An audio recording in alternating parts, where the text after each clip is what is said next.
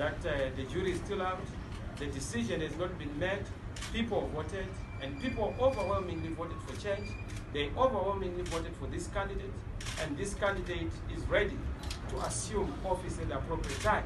Mr. Mnangagwa was defeated in this election, and as I indicate, we are urging him to accept that defeat and to be honorable enough, patriotic enough, and humble enough, revolutionary enough to accept the will of the people. Yes, we must not be intimidated by anyone from anyone. We are masters of our destiny, and we are only liberators. For that reason, we have to make sure that we stand on our guard to defend our votes within the confines of peace, without being intimidated. Change does not come easy. The darkest hour is before dawn. We knew that we're going to go through this valley of unhappiness, the valley of persecution. But ultimately, the summit of victory is going to be reached. And we're almost there.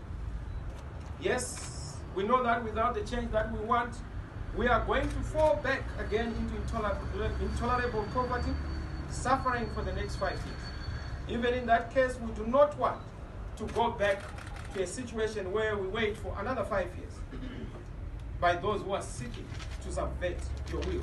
There is no guarantee that if we wait for the next five years, Zimbabweans in the rural areas who are totally under captivity and slavery are going to be free then.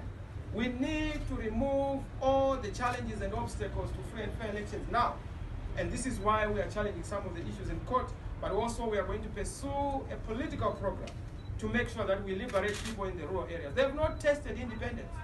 For the past 38 years, people in the rural areas have been subjected to captivity. And why?